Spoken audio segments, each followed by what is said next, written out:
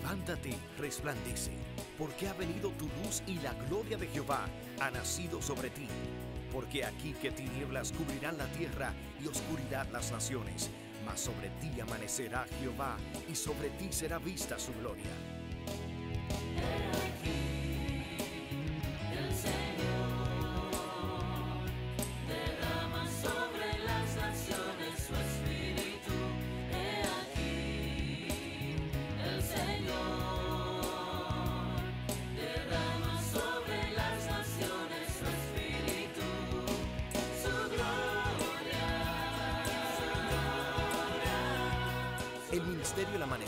Esperanza presenta su programa Voz de Restauración con el pastor Juan Radamés Fernández.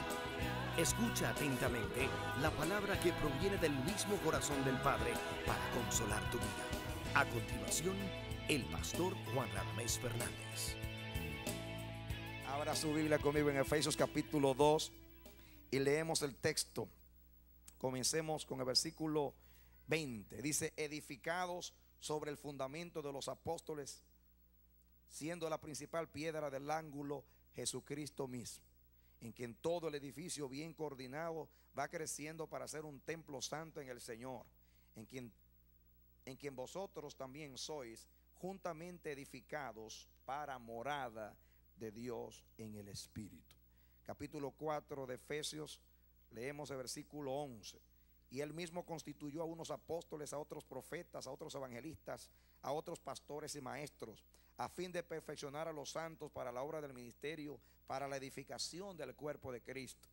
Hasta que todos lleguemos a la unidad de la fe y del conocimiento del Hijo de Dios, a un varón perfecto, a la medida de la estatura de la plenitud de Cristo, para que ya no seamos niños fluctuantes llevados por doquiera de todo viento de doctrina, por estratagema de hombres que para engañar emplean con astucia las artimañas del error, sino que siguiendo la verdad en amor crezcamos en todo en aquel que es la cabeza, esto es Cristo de quien todo el cuerpo bien concertado y unido entre sí por todas las coyunturas que se ayudan mutuamente según la actividad propia de cada miembro, recibe su crecimiento para ir otra vez edificándose en amor. Noten ustedes las palabras edificados, edificación, construcción. Estamos hablando de edificación. Hay en la Biblia una ilustración que está por todo el Antiguo Testamento y está también por el Nuevo Testamento. Dios siempre ha usado la construcción como, como un, un símbolo, como una tipología para ilustrarnos eh, muchas cosas lindas. Sabemos que Dios toma eh, la ilustración del templo para hablar en el Nuevo Testamento de que Él está construyendo un templo espiritual. Y dice ahí, eh, dice Primera de Pedro capítulo 2, que nosotros todos somos piedras vivas en, ese, en esa casa espiritual, en ese edificio santo que Dios está levantando. Y aquí dice que Jesucristo es la piedra angular, la piedra de referencia, donde el edificio ha sido levantado. Y Dios habla ahí de los apóstoles y profetas y habla de los ministerios como parte de, del fundamento de ese edificio, fundamento espiritual y nosotros todos, piedras vivas, estamos edificados los unos sobre los otros. Hemos dicho que en el templo de Salomón las piedras no fueron, no, no fueron trabajadas o labradas, sino que eran tomadas directamente de las canteras y eran traídas y puestas en el lugar donde debían ser ubicadas. De la misma manera nosotros también en, en nuestra formación, nuestra creación como piedras de Dios, no ha habido martillo, no ha habido martillo. Eh, las herramientas eh, son, son, una ilustración de, de, las obras del hombre. La nueva creación es según Dios en justicia y santidad de la verdad. Somos nuevas criaturas en Cristo Jesús. Hemos sido creados por Dios para buenas obras, las cuales Dios preparó de antemano para que anduviésemos en ellas. No somos el producto de, de una de un catecismo religioso, de una educación religiosa. No somos eh, eh, el resultado de una fabricación religiosa. Todos los que genuinamente han nacido en Cristo Jesús son obra de la voluntad de Dios y del poder de Dios. Amén. Así que todos nosotros en este momento estamos siendo edificados. La palabra edificación en griego, una de las palabras que usa la Biblia, la principal, significa etimológicamente edificar, edificando o construyendo el hogar o la casa. Dios está ahora mismo está edificando una casa espiritual en todos nosotros. Diga, yo, Dios está en, en mí construyendo una casa espiritual. Y dígale al hermano que está al lado, tú eres una piedra viva en esa casa espiritual.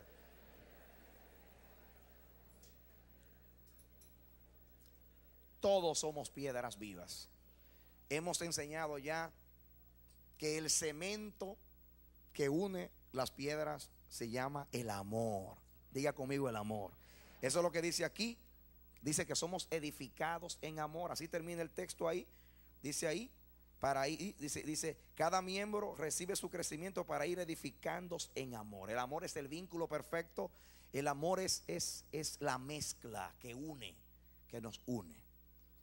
Somos unidos a Dios a través del amor. El vínculo que nos une a Dios es el amor. El vínculo que nos une a Cristo es el amor. Somos el producto del amor de Dios. Porque Dios nos amó, nos salvó y nos llamó a su gloria eterna en Jesucristo. Estamos aquí como resultado del amor de Dios. Somos el, fruto del amor de Dios en nuestras vidas. Y en el cielo el reino de Dios se simiente en el amor porque Dios es amor.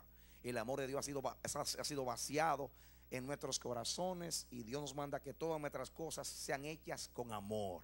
Y el amor es el vínculo perfecto y el amor es la causa de todo lo que hacemos. Así que bendito es el amor de Dios en Cristo Jesús. Y eso es lo que nos une. Nuestra relación está basada en el amor. Lo que, lo que fusiona nuestras vidas, lo que sella nuestras vidas eh, en esa edificación es el amor. Hemos dicho que nosotros no elegimos quién va a ser la piedra que va a estar debajo de nosotros.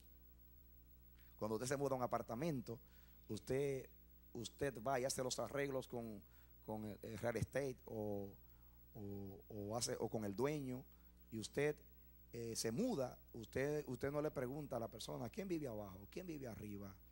Eh, si vive alguien ahí que sea así, yo no me mudo. No, usted va y se muda y después quizás, si quiere, investiga quién es que está abajo y quién es que está arriba.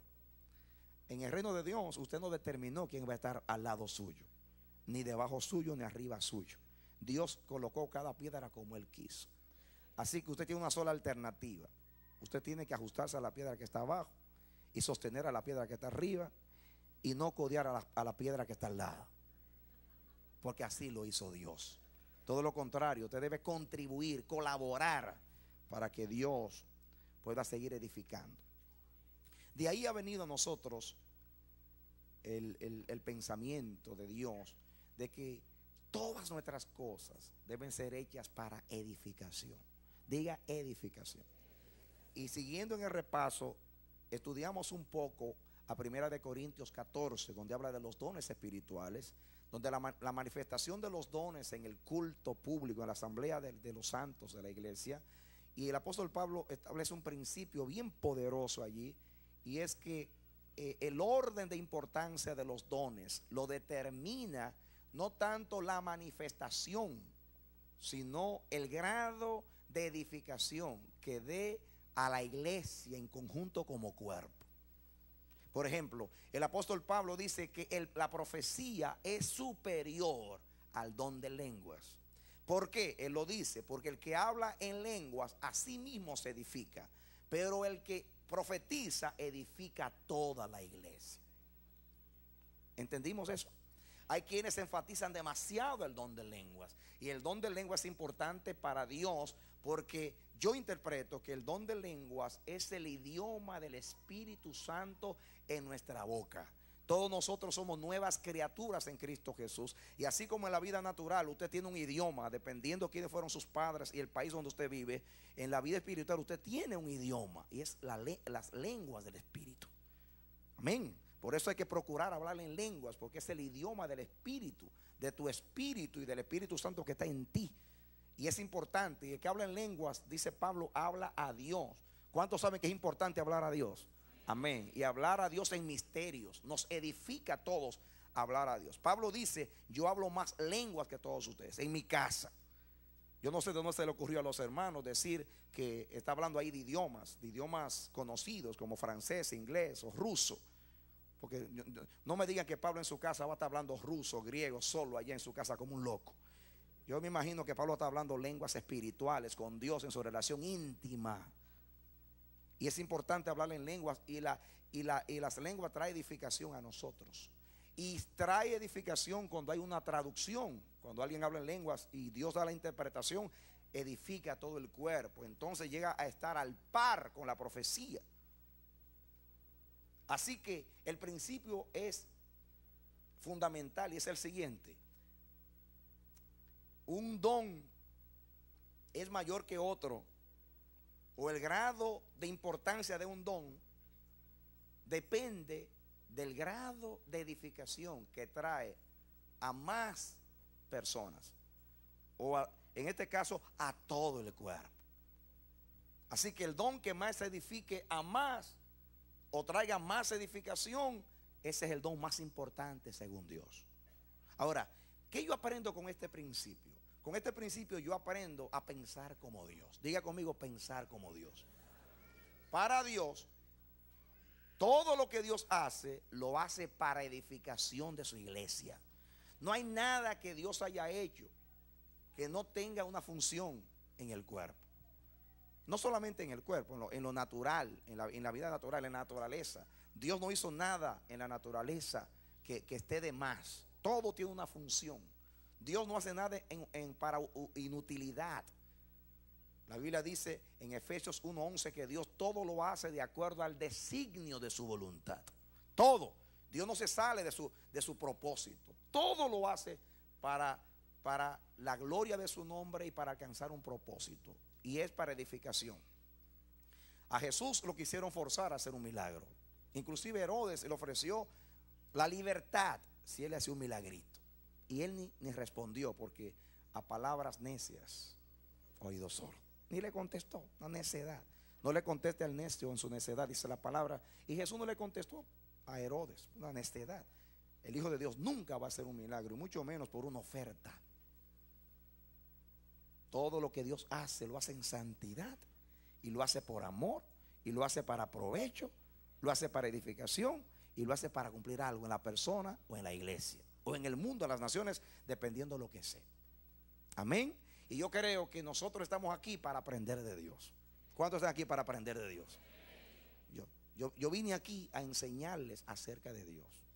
Ustedes no vinieron aquí a, a- a ver retórica o a ver eh, eh, eh, homilética o destreza en el hablar. No, no, ustedes vinieron aquí a ser edificados en Dios. Y desde aquí le vamos a hablar de Dios. Y Dios tiene un principio en el reino, es que Él todo lo hace para provecho, todo lo hace para utilidad, todo lo hace para, para edificación del cuerpo, todo lo hace para sacar un beneficio, para cumplir algo. Dios no está como nosotros improvisando, a ver cómo me sale. Como Aarón, yo tiré el oro ahí, las prendas y salió el becerro. Es una mentira muy grande. Dios todo lo tiene predestinado desde antes de la fundación del mundo. Simplemente estamos viviendo el programa de Dios cuando nos sometemos al programa de Dios. Y tenemos que entender eso. Así que en una construcción hacemos dos cosas. O destruimos o construimos. Dios, cuando fue a edificar, primeramente quitó del medio todo fundamento humano. Jeremías 1.10, yo te he enviado para destruir, para arrancar, para luego edificar. En el reino de Dios, Dios hizo con nosotros también. Antes de Dios hacerte una piedra viva, Dios quitó todo fundamento humano de tu vida. En este momento tú estás en el proceso de destrucción y de edificación. Estamos en el proceso de demolición de la carne. La palabra dice, la palabra, Pablo decía, cada día muero. La carne está muriendo ahora mismo. Adán está siendo deshecho para que Cristo sea formado en nosotros. Ese es un proceso y está simultáneo el proceso. Por ejemplo, Dios le dijo a Adán, el día que tú pecares, ese día morirás. Y esa sentencia cayó sobre Adán.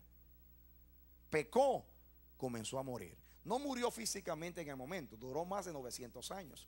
Pero Adán comenzó a morir y con él su descendencia comenzó a morir. Y todo comenzó a morir. Aún la misma creación, dice Pablo, fue dañada, fue entregada a vanidad por causa de nosotros. Y todo comenzó a morir cuando el hombre pecó. Y una sentencia, morirás. Cristo Jesús, como vino en el lugar de Adán, tomó esa sentencia. Y en la cruz del Calvario, en la cruz del Calvario, cuando él moría, se oía la voz que decía, el día que pecares, morirás, morirás, morirás, morirás. ¿Quién estaba muriendo? Estaba muriendo Jesús en el lugar de Adán. Y como Adán es nuestro representante, entonces estaba muriendo por todos. Pero él estaba ahí y la sentencia morirás. ¿Por qué murió en el Calvario? Porque esa sentencia se tenía que cumplir, morirás. Ahora, después que él murió, y dice la Biblia que en su cuerpo nuestro pasado fue deshecho. En su cuerpo nuestra separación fue deshecha. En su cuerpo nuestra ignominia, nuestra vergüenza fue deshecha. Todo lo que era maldición por el pecado de Adán fue deshecho en el cuerpo de Cristo. Amén. Y ese cuerpo fue enterrado. Y cuando fue enterrado, se deshizo nuestro pasado en Adán. Cuando Cristo se levanta, Dios comienza a construir un edificio de gloria. Y comienza una nueva edificación en la resurrección de Jesucristo. Comenzó un nuevo linaje, comenzó una nueva raza, comenzó un nuevo tiempo, comenzó un nuevo pacto, comenzó una nueva relación, pero también comenzó una nueva edificación. Ya no en Adán, sino en Cristo Jesús. Dale un aplauso al Señor. Amén.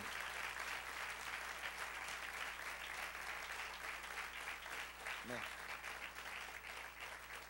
Entonces, aquí Dios, inmediatamente Cristo ascendió al cielo y traspasó los cielos, llevó cautiva la cautividad y dice que Él dio dones a los hombres, impartió dones a los hombres. Llevó cautiva la cautividad y dio dones a los hombres. Inmediatamente subió, mandó al Espíritu Santo y le dijo al Padre, yo hice una obra y esa obra tiene que ser cuidada y guardada. Y los redimidos tienen que ser guiados por el Espíritu. Y el Espíritu Santo descendió a darle una continuidad al ministerio de Cristo. El Espíritu Santo es una continuación del ministerio de Jesús. Amén. Nosotros también somos una continuación del ministerio de Cristo, pero en nosotros está, se está haciendo una obra de edificación en este momento. Constantemente en esa obra. El diablo quiere que haya destrucción y Dios quiere que haya edi- edificación. Estamos todos en ese proceso.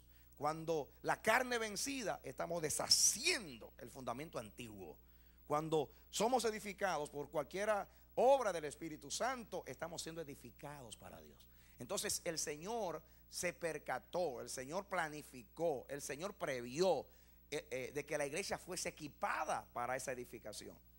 Él puso los materiales, Él trajo el cemento, Él trajo las piedras, Él trajo el Espíritu Santo que es el maestro constructor que está edificando. Eh, eh, Él, él- levantó los cinco ministerios ahí, que dice para, para edificación del cuerpo de Cristo, para capacitación. Él, eh, eh, él no solamente a los cinco ministerios le dio dones o ministerios, sino que también a todo el cuerpo le dio, le dio funciones y le dio dones. Y todos los santos cuando nacen en el reino de Dios nacen con dones, con ministerios, nacen con operaciones del Espíritu. Todos nosotros. Nadie puede decir yo no tengo un don. No. Si no tienes don, no eres, entonces tú no has nacido de nuevo. Pero si naciste de nuevo, indiscutiblemente el don de Dios está en ti. El Espíritu Santo está en ti. Posiblemente tú no has descubierto ese don, pero está ahí. Un día se va a manifestar. Yo te insto a andar en el Espíritu para que ese don brote y surja. Entre más andemos en el Espíritu y más intensos seamos en la vida del Espíritu y más cultivemos y andemos en el Espíritu, más nos, nos percataremos de nuestros dones y vamos a, a- a- a- se nos revelarán nuestros dones, lo que fluye en nosotros. Yo me atrevo a decir, porque por revelación de Dios y por observación, que así como en la vida, en la vida natural, cuando, cuando un óvulo y un espermatozoide se juntan y, se forma ahí un ser, un, cigoto y se forma un ser en, lo que llamamos embarazo o gestación. Ahí está, está la ley de la herencia. Ahí, ahí está la información genética que, va, que dice cómo va a ser esa criatura, si va a ser alto, si va a ser bajo, si va a tener el pelo asá, si se va a quedar calvo cuando llegue a viejo. Todo eso está programado ahí. El problema es que tenemos que elegir bien a los abuelos para que no tengamos problemas de herencia. Hoy hay un desconformismo tremendo. Los blancos se están estirando el pelo y lo, los que tienen el pelo lacio están haciendo rizos. Hay un problema terrible con la aceptación. El mejor consejo es que nos aceptemos como somos y seamos felices como somos. Porque Dios nos hizo diferentes a todos. Amén. Eso en cuanto a la vida natural. En cuanto a la vida espiritual, yo creo que cuando una persona nace de nuevo, en sus genes espirituales está determinado la ley de la herencia espiritual. Y ahí está la programación, si va a ser profeta, si va a ser apóstol, si va a tener el don de fe o el don de eso. Ya usted, usted lo tiene ahí. Simplemente se manifiesta. Se manifiesta. A veces directamente, a veces por imposición de mano. Pero, pero lo que hace es que se despierte el don de Dios que está en ti, se aviva, brota. Pero está ahí programado ya. El cristiano sabio dice, yo voy a vivir para el propósito. Yo quiero ser quien, yo quiero saber quién yo soy.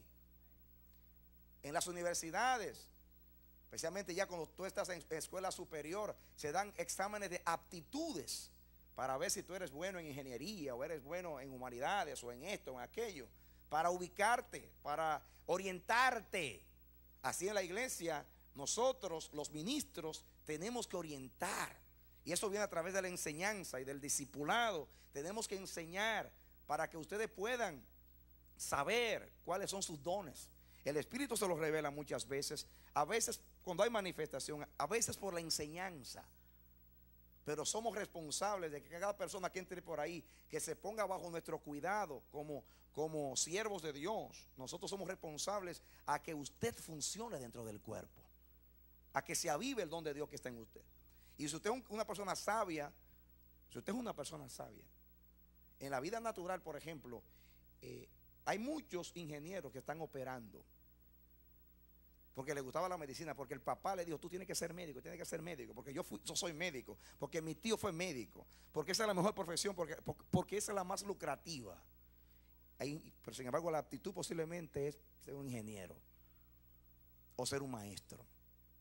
Así pasa en la vida espiritual.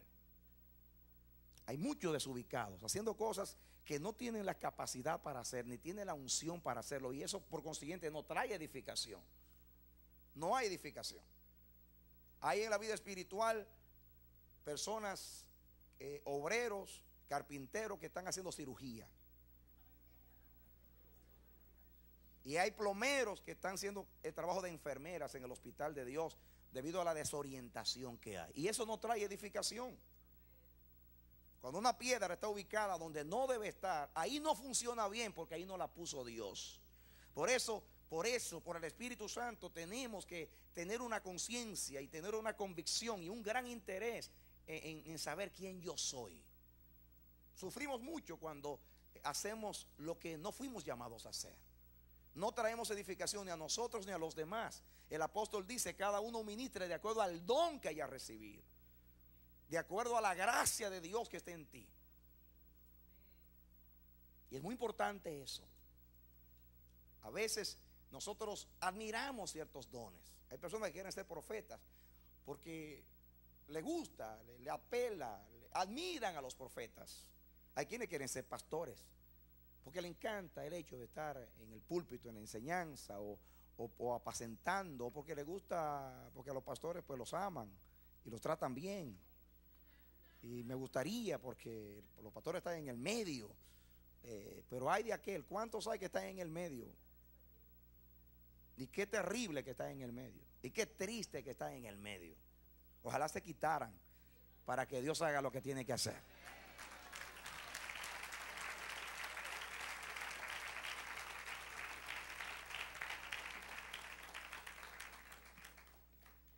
No trae edificación estar desubicados. Trae edificación cuando estamos en el lugar que Dios nos puso, haciendo lo que Dios nos puso, de acuerdo a la capacidad o la, la capacidad ungida, porque los dones son capacidades ungidas que Dios nos ha dado. ¿Qué yo dije? Capacidades ungidas, no capacidades aprendidas. Esos son talentos, que usted nace con eso en la vida natural. Lo que son los talentos en la vida natural son los dones en la vida espiritual. Algo que el Espíritu Santo puso en ti. Y tú tienes que operar de acuerdo a eso. Dios no te salvó a ti simplemente para librarte del infierno. Dios no te libró, no, no solamente te salvó para, para, para darte gozo. Dios te salvó con un propósito. Y es para que tú cumplas una función dentro del cuerpo y a través de ti, de mí, de todos, unidos, cumplir un propósito en la tierra. El cristiano sabio, entendido y convencido y maduro vive para ese propósito. Dice, y, y anda en pos de ese propósito. Yo te voy a decir una, como testimonio personal, te voy a decir que Dios me llamó a mí a salvación a los 16 años y a los 17 me llamó al ministerio. Y yo tuve que dejar la medicina, que era mis planes, para, para hacer el propósito de Dios. No hay día que yo no tenga la carga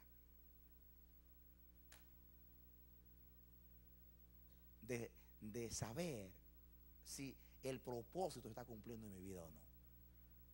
De una manera directa o indirectamente, esa es mi angustia. Ese es mi, mi reto todos los días. Cuando veo que, que no, ciertas cosas a los, a los que Dios me llamó no se están cumpliendo, eh, comienzo a preocuparme. Es decir, Señor, algo no está bien. No estoy haciendo algo bien, o no estoy haciendo un orden de prioridad, o no le, no, le estoy dando importancia a las cosas que tengo que dar, que, que, que dar importancia. Algo no está bien en mi vida y yo no estoy contento. Yo quiero morirme habiendo terminado la obra a la cual Dios me llamó. Yo no quiero que venga otro a terminar la función mía, yo quiero terminarla yo. Quiero que todo lo que Dios puso en mí se le sea dado a la iglesia o a las naciones o al mundo o como Dios lo planificó. Y, y con esta predicación Dios quiere lograr eso en ti.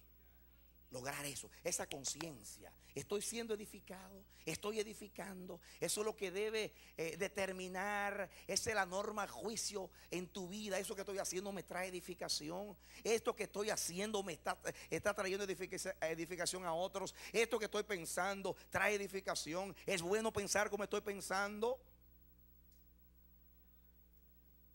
Estas palabras que estoy hablando o que hablé o que estoy planificando hablar edifican, trae gloria al nombre de Jesús, añaden gloria a la alabanza a Dios, edifican a mis hermanos. ¿Vale la pena? O simplemente me quiero desahogar para sentirme bien. Porque el psicólogo dice que cuando, cuando me desahogo y comunico lo que siento, comienzo a tener terapia o paz. No, no, no, no, no. Cuando te vayas a desahogar con tus rabietas, vete donde Dios primeramente. Y, y después que tires a Dios todo tu coraje, que Él es tu padre y te va a escuchar, ven al hermano y desahógate. Pero dice la palabra, airaos y no pequéis. Porque el airarse y pecar no edifica.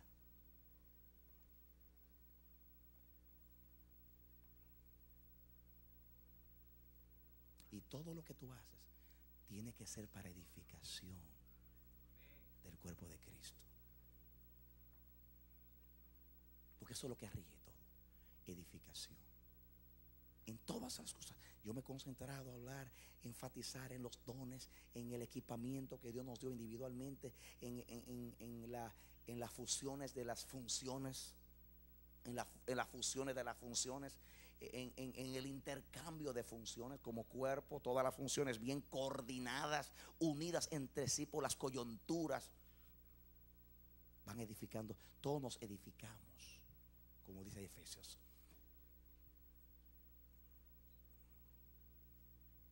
Hay quienes cobran por edificar. ¿Qué dije yo? Hay quienes cobran por edificar. Dan seminarios, cobran un montón de dinero. Que Dios me dio un don a mí y yo le estoy vendiendo.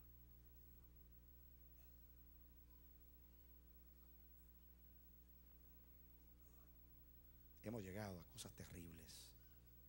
Si de gracia recibisteis, dad de gracia. Pablo decía, yo soy deudor a judíos y a gentiles. Yo soy deudor. Deudor porque Dios me dio algo para que yo lo administre. No para que me adueñe de esto, sino para que yo lo administre. Ténganos los hombres como administradores de Dios, de todas las cosas que Dios nos ha dado. Administramos cosas santas. ¿Cuántos saben que un día daremos cuenta de lo que hemos recibido? Amén. Tenemos que poner sin, sin entrar en estrés, sin entrar en desesperación, sin entrar en cosas que no edifican, pero sí ser diligente, como dice la palabra, gozosos en la esperanza, sufridos en la tribulación, constantes en la oración, en lo que requiere diligencia, no perezosos, fervientes en espíritu sirviendo al Señor. Pero todo para edificación. Si el Espíritu de Dios lograra eh, impregnar eso en nosotros, de hacerlo todo para edificación, que sea una norma de conducta para nosotros, todo de edificación. Desde ahora en adelante usted es responsable de recordarle al hermano cuando está haciendo algo, diciendo algo. No, eso que está diciendo, ¿tú crees que, que edifique? ¿Qué te pasa a mí? No, no, no, solamente te pregunté. No te enojes. Solamente quería para que tú te ayudes a evaluar si lo que está haciendo está bien o está mal. Acuérdate que Dios nos ha ministrado que todo es para edificación.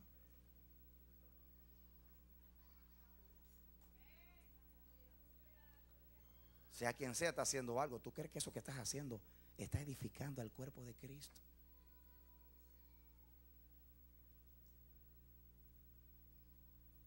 Oh, si supiéramos que un día daremos cuenta. Daremos cuenta. Daremos cuenta. Somos responsables delante de Dios de usar bien los dones que Dios nos ha dado.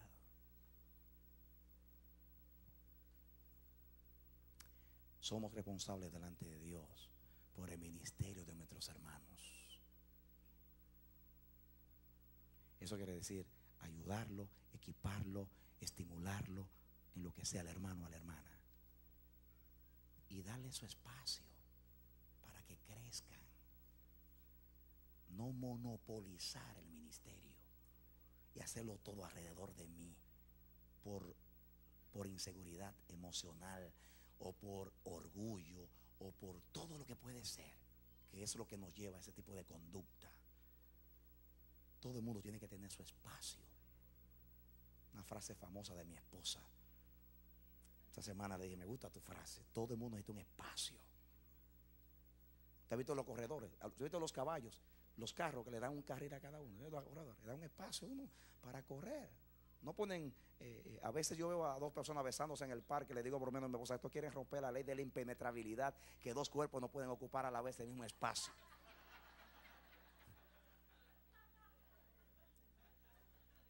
Pero hay gente también que, que quiere, eh, eh, eh, eh, quieren correr a carrera de ellos y también entorpecer. Déjale, déjale espacio al hermano, que el hermano tiene que dar cuenta a Dios un día y él quiere hacerlo bien. Déjale el espacio.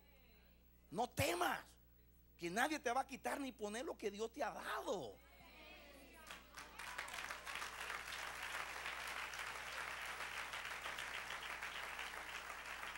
El hermano que está al lado necesita crecer, necesita la libertad para crecer y el espacio para crecer y la oportunidad para crecer. Y todos somos responsables que, todo lo que tenemos bajo nuestra autoridad crezcan. No temas que alguien crezca, que, te sienta amenazado. Eso no es de Dios. Si Dios puso ese vaso para que tenga más honra que tú, déjalo. Glorifica a Dios. Lo que le quiero decir es que no es bueno comparar. El que es bueno en una cosa, no es bueno en otra cosa. Pero si se juntan los dos, hacen las dos cosas. Y eso es. Aquí no hay nadie que sea bueno en todo. Dios no le dio a un hombre todos los dones. Sería terrible. Sería terrible. Yo no quiero estar en alguien, delante de alguien que lo sabe hacer todo, porque no me va a necesitar. Y me voy a sentir un inútil al lado de él. Pero gloria a Dios que él repartió a cada uno, dice la Biblia, como él quiso. Un líder no es aquel que lo hace todo. No es aquel que lo sabe hacer todo. Es aquel que sabe administrar los dones de todos. Y lo sabe organizar y coordinar y evaluar para hacer, hacerlos funcionar para que se cumpla el propósito. Ese es el líder. ¿Tú crees que Bill Clinton sabe de todo? Que va. Ese es un pobre abogado. Pero él tiene un consejero para asuntos militares. Él tiene un montón de consejeros para asuntos diplomáticos. Él tiene un montón de consejeros para asuntos que tienen que ver con seguro social. Y cuando él se sienta, le dice, a ver la opinión de ustedes. Esta, esta, esta, esta, esta. Y después que escucha todas, dice, me gusta esta. ¿Qué le parece si estudiamos esta? Y todos ah, analizan los pros y los contras. Vámonos con esta. Y Clinton coge y prepara un discursito que muchas veces ni él prepara el discurso. Tiene expertos que le preparan el discurso. Y entonces viene y lo lee. Y él se aprendió a leer. Por eso usted ve que mira para abajo. Sí, porque en la universidad te enseñan el arte de hablar y cómo hablar. Yo sé leer, también me enseñaron. Y yo puedo levantar la cabeza y seguir leyendo. Te enseñan y él aprende. Y Clinton habla de todo el mundo. ¡Wow! ¡Qué tremendo proyecto! ¡Qué presidente que sabe! No sabe nada. Él lo que sabe es usar las capacidades de los que le rodean. Entonces las toma todas y las coordina y las dirige. Y, él aparece como el gran líder. Ay, pero al líder que no. Quieren hacerlo todo. No, déle el espacio a los demás. Que hagan. Uno tiene doctrina, otro tiene salmo, otro tiene revelación, otro tiene interpretación. Eso edifica. Amén. Gloria a Dios. Amén. Así que si usted es un líder, siéntese y dice, Dios me puso aquí a siete discípulos. El talento de este, este, el de este, este, el de este, este. Tengo siete dones, capacidades ungidas. A ver, a ver, a ver, Señor, ¿cuál es la dirección? ¿Cómo podemos usar estos siete dones para este ministerio?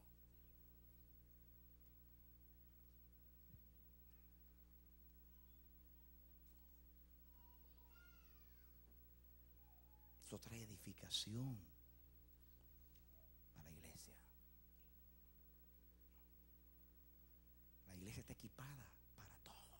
Si hay un cuerpo en el mundo que está capacitado, es la iglesia. Y nuestras capacidades no son naturales, son espirituales, son poderosas en Dios. Así lo dice la Biblia. El mundo estuviera temblando, la iglesia estuviera eh, dirigiendo a las naciones y a los gobiernos, si la iglesia funcionara bien. Pero el espíritu de orgullo, de envidia, de celo, de manipuleo, de, de- de- de- aplastar al otro, de neutralizar al otro, lo que se llama carne y sangre, nos ha dañado. Pero yo digo como decía el apóstol, no hemos aprendido así de Cristo. Entre nosotros será diferente. Edificación. Así que si tú ves a alguien que te está tratando así, dile, hermano, por favor, yo soy parte del cuerpo. Y yo tengo dones. Y Dios me llamó. Dame mi lugar. Déjame hacer trabajo. Yo no quiero ser jefe. Yo lo que quiero es simplemente hacer mi función. Yo no vine aquí para sustituirte. Vine aquí para hacer mi trabajo. Déjeme hacerlo. Pero dígaselo en el espíritu, no solo diga en la carne. Ve en el espíritu. Hazle saber al hermano de que tú fuiste llamado a eso y que tú necesitas tu espacio. Aquí los discípulos míos saben que yo no creo en prejuicio. Yo no me guío por prejuicio. Toda persona que entre por ahí, aún el diablo, si Dios lo manda aquí, a Lucifer y lo sienta ahí, Radamé lo tiene que administrar. Posiblemente los intercesores y los de liberación que tienen don de él no sabe que es el diablo que está pastoreando. Yo le voy a decir, es el diablo, pero Dios me lo mandó. Así que tengo que hacer algo con él, porque por algo lo mandó Dios. Ah, no, que cuidado, que, que él es, así y es tramposo no paga. Y, pues no me importa eso, o yo que lo corrija. Hay que ayudarlo, hay que, hay que ministrarle, hay que ponerlo a trabajar, hay que. ¿Qué pasa?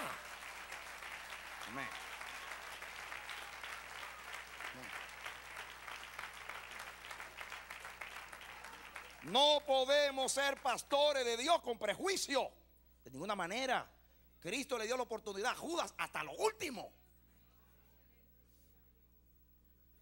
No venga tú a hacer a, que, a como Simón que vio a la mujer lavándole los pies a Jesús. Si fuera profeta, supiera quién es esta mujer. Jesús dijo, yo sé quién es esta mujer y sé quién eres tú.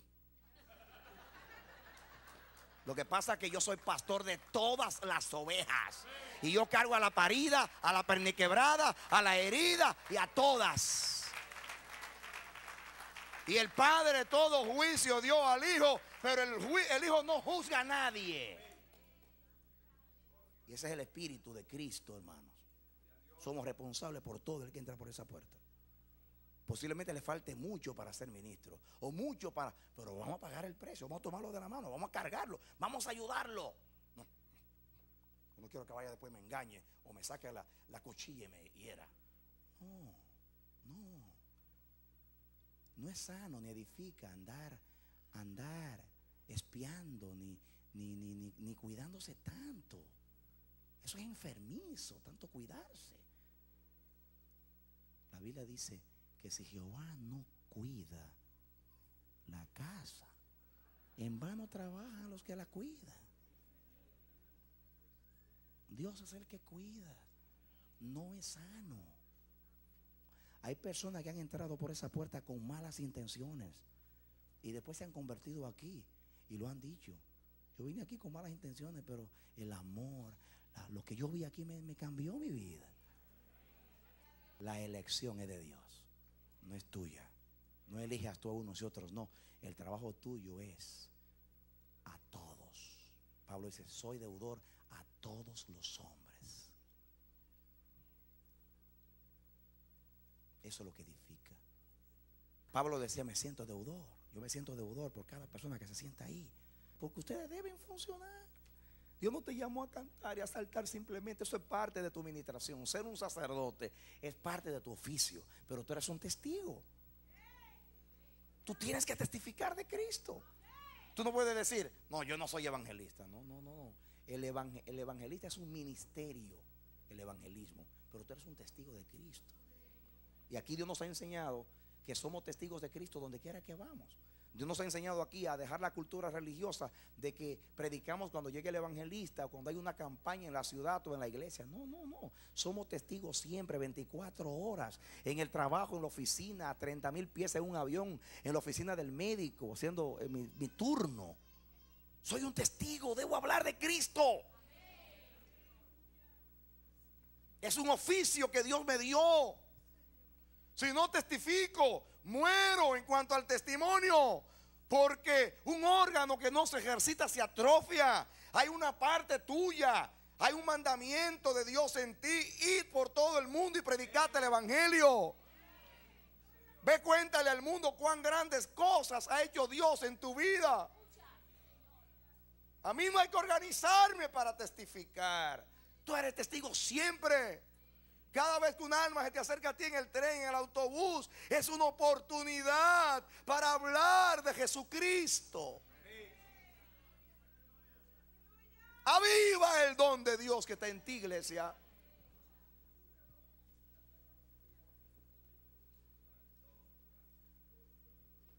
Dios te mandó a servir.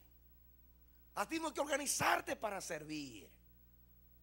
Fluye en el don de servicio. Disponte para servir.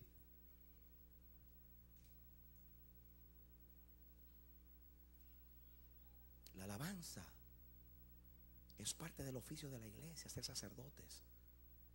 Enseñar la palabra, testificar, servir. Aún la misma coinonía es una función de los santos. Estaban juntos, juntos, juntos, unánimes, partiendo el pan en las oraciones, en las casas, en las calles. Tú tienes que proponerte tener relación con tus hermanos. Tú no puedes ser una isla. Acércate a tus hermanos. Ve dónde están los hermanos. Si están orando, ve a orar con ellos. Si están testificando en la calle, ve a testificar en la calle. Si están en el picnic, en el parque, voy a estar con ellos. Yo siempre hago mi recreación con mi familia y con otros. Pues llévate toda la familia natural a compartir con la familia espiritual. Pero tienes que hacer propósito porque es parte de tu trabajo como iglesia, como tu oficio. Y tú tienes, tú tienes esa capacidad. Y juntos vamos a hacer el propósito. Tenemos que relacionarnos. Posiblemente tú tienes problemas eh, para relacionarte porque tu padre te falló, tu madre te maltrató, tu abuela te hizo a esto y tienes problemas de complejos, de falta de estima propia. Eh, pues mira, hay que romper todas esas ataduras. Tienes que romper todas esas cosas. Relaciónate, atrévete en el nombre de Jesús. Acércate a tus hermanos. Dile a tus hermanos, yo te necesito. Tú eres parte mía. Yo soy un cuerpo contigo. Yo, yo no puedo funcionar sin ti. Aleluya.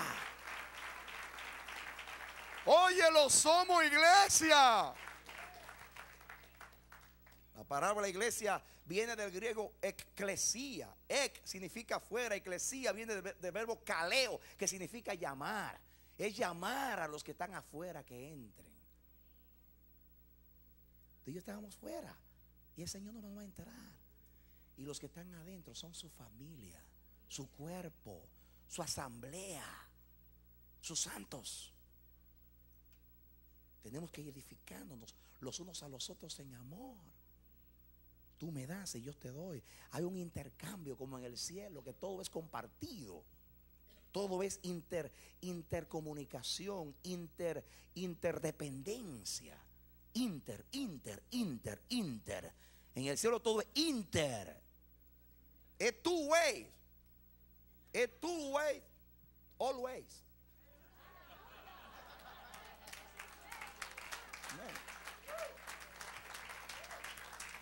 En el reino de la carne todo es one way, un solo camino, una sola ruta.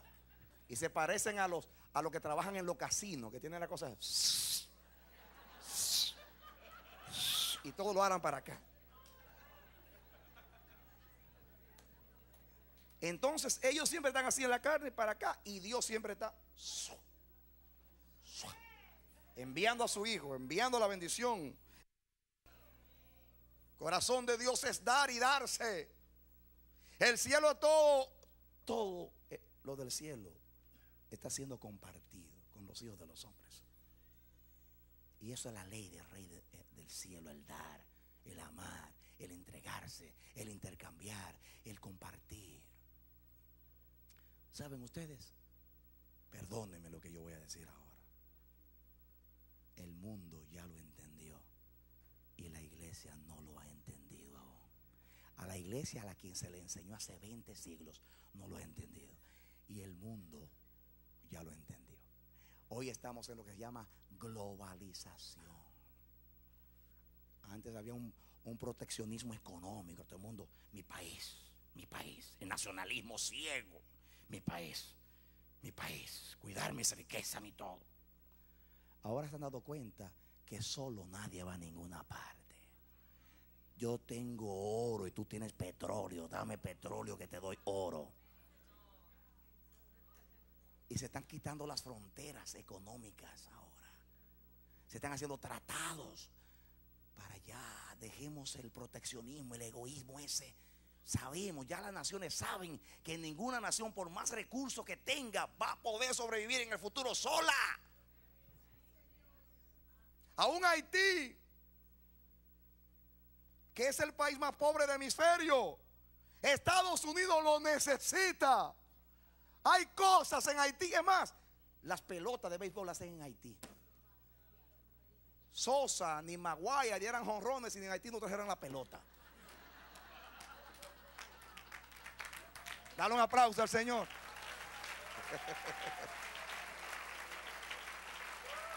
Gloria a Dios. Aleluya. Pero la iglesia no ha entendido eso. Y todos los días hay una subdivisión en la iglesia.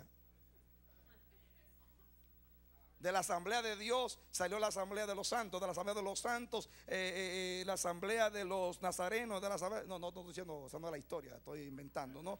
Pero, pero, santo, todas las subdivisiones. Todos los días hay una independencia en la iglesia. Todos los días se sale una independencia. Y la independencia dice a los miembros, no vayan aquí, no vayan allá, no den ofrenda aquí, no vayan para allá. Aquí solamente den acá. Porque esta es tu iglesia, tú tienes que ser fiel a tu iglesia donde Dios te puso. Inventamos un montón de sermones para aislar a la gente del cuerpo. Pecado imperdonable. Ay de aquel que separe al cuerpo de Cristo. La Biblia habla de los mutiladores del cuerpo. Y no son en estos días los, los de la circuncisión. Son aquellos que están acabando, destruyendo. Eso- mira, son carniceros. Están separando la cabeza del tronco, de las extremidades. Y están picando eh, los brazos así. Brazos, antebrazos. Y los dedos, falange, falangino, falangeta. Fi, fi, fi, fi. Están dividiendo los 208 huesos. Ya se me olvidó la anatomía. Y lo que sé yo, y los 500 y más músculos ya. Están ahí. Y no tienen que por allá está el riñón solito. Y, y el corazón. Y el otro, Santo Dios. Pero Dios dice a la iglesia, iglesia, vivirán esos huesos. Un día Dios va a tomar a todos esos miembros por ahí y va a soplar para que se junten.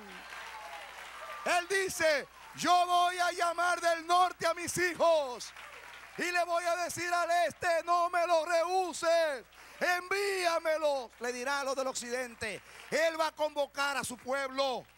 Él va a acabar con los mutiladores del cuerpo, los que separan al cuerpo de Cristo.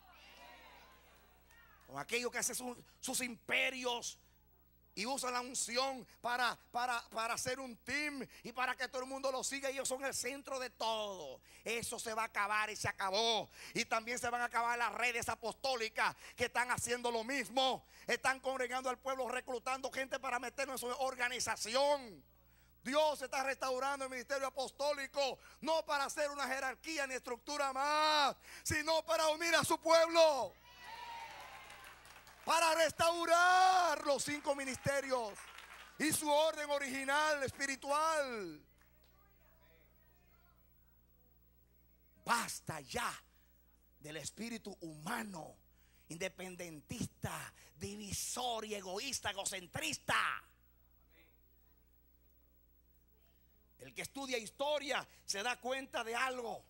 Yo recuerdo cuando yo estudiaba historia, cuando estudiábamos a los griegos, a los romanos y a todos esos pueblos antiguos. Yo recuerdo que cuando estudiábamos los pueblos decían, por ejemplo, eh, eh, Grecia.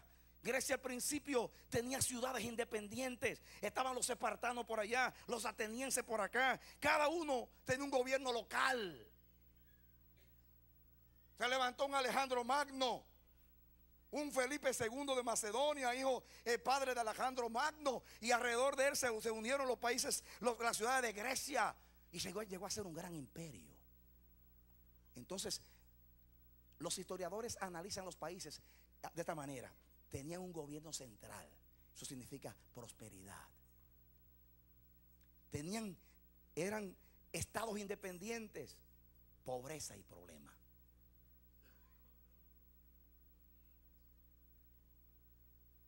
La iglesia tiene la, la unión da fuerza.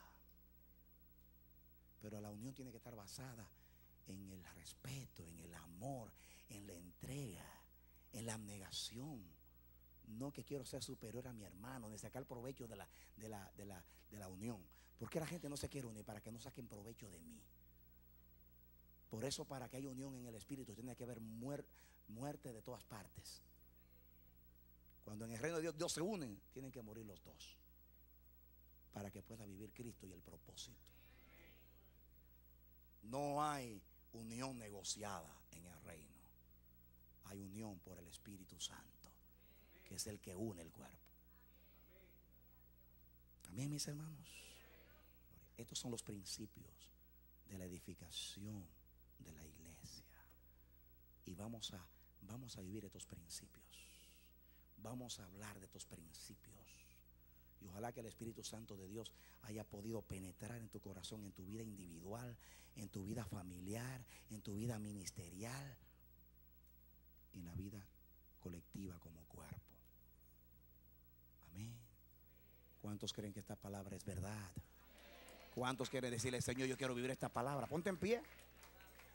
En nombre de Jesús. Esperamos que este mensaje haya sido de edificación para tu vida. Si deseas recibirlo en su forma original, puedes solicitarlo a El Amanecer de la Esperanza, P.O. Box 70, Bronx, Nueva York 10473. O visítanos a nuestra página web www.elamanecer.org. Dios te bendiga.